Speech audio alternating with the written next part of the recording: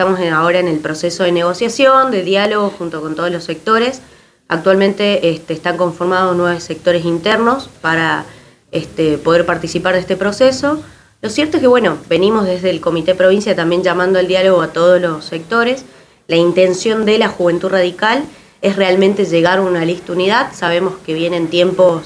este, electivos, ya sean ocho meses o un poquito más de un año, en donde nosotros como jóvenes, nuestro objetivo es que este proceso sea de la forma más tranquila, más transparente y con la inclusión de todos los jóvenes, no tan solo acá del Valle Central, sino del interior, este, para poder ver más allá, en el sentido de que necesitamos tener un proyecto que, vuelva a enamorar a los catamarqueños, eh, mientras el radicalismo quizás en mayores eh, siguen las disputas internas o no, nosotros queremos despegarnos de esto y al menos la juventud lo viene haciendo con una agenda propia y queremos continuar esto y ya con algo mucho más real y mucho más eh, serio de cara a los catamarqueños. Creemos que este proceso necesita, nos necesita todos unidos, todos juntos. Lo cierto es que, bueno, actualmente son nueve los, los lugares expectantes que tiene la Juventud Radical entre presidencia de la provincia, del capital, vicepresidencia y delegaciones, y son nueve justamente los sectores. Entonces, si realmente hay una, un ánimo de, una, de crear una lista unidad, eh, todos vamos a tener que dejar quizás algunas aspiraciones de lado en pos de un proyecto colectivo. Eh, vienen dialogando con los diferentes sectores, hay ya casi una unificación de criterios para conformar una lista única, lo cierto es que se conoce que Evolución, línea que responde al diputado Marchioli, por el momento no estaría conforme, por lo menos, de conformar esa lista. Exactamente, sí, bueno, actualmente de los nueve sectores, ocho este, ya hemos cerrado este, este tema de la lista unidad, también está incorporado Evolución, nosotros no hemos dejado a nadie afuera porque realmente nuestra intención de unidad es genuina, este, como te dije anteriormente, eh, si realmente queremos una lista unidad, eh, tenemos que empezar a dejar un poquito las individualidades o lo personal de lado y empezar a mirar en algo más colectivo. Quizás a veces es necesario dar dos pasos atrás este, o un paso atrás para dar dos después adelante. Estas individualidades, ¿cómo se le, ¿qué se le transmite a los jóvenes justamente para evitar lo que ha pasado? Han perdido un gobierno, van perdiendo en cada elección que se da desde la Radical, ¿cómo se le explica al joven afiliado que hay que dejar de lado eso para, para volver a, a reflotar la Radical? Y bueno, justamente el ejemplo se da en casa. Si nosotros realmente haciendo política no comprendemos de que para que no nos vuelva a pasar lo mismo que nos pasó en las elecciones anteriores, es necesario dejar algunos egos, algunas pretensiones personales de lado, este, vamos a seguir en la misma. Y como juventud al menos no tenemos esa intención este, y queremos laburar de cara a la gente. Eh, lo cierto es que sabemos que actualmente quizás puede llegar a ser un poco acotado los eh, distintos lugares de poder, pero también hay que ser eh, críticos y hay que ser sinceros con uno mismo, hasta dónde nos da cada uno, hay que acompañar también a quien está mejor posicionado, hay que ayudar a que el radicalismo crezca y para nosotros poder ser este, una alternativa electoral interesante necesitamos empezar a resolver los problemas en casa.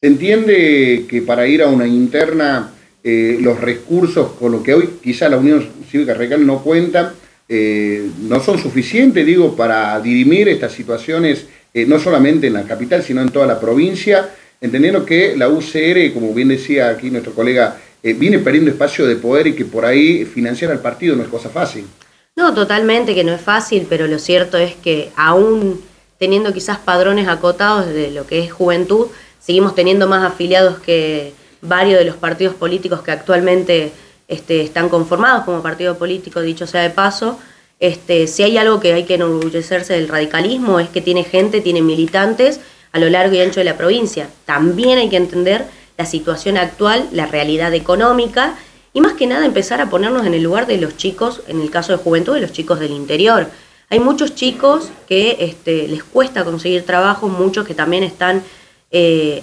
quizás atados eh, a los gobiernos de turno en las municipalidades y las cuales no podemos exponerlos de esta forma, siendo que son ellos los que todos los días o los que en campaña salen a pedir el voto, salen a dar la cara por los candidatos, salen a acompañar el radicalismo y hay que escucharlos más porque por ahí algo que se quejan siempre y algo que este, también es real, muchas de las decisiones pasan por acá, por la capital, donde ellos también tienen que ser tenidos en cuenta, justo lo que preguntabas del tema de los chicos de juventud, cómo hacer para enamorar. Primero ser serios, presentarles un proyecto serio y otra ser coherente con lo que decimos, con lo que hacemos. No podemos querer pretender sumar a más jóvenes eh, en la política si tampoco no entendemos la realidad de la provincia,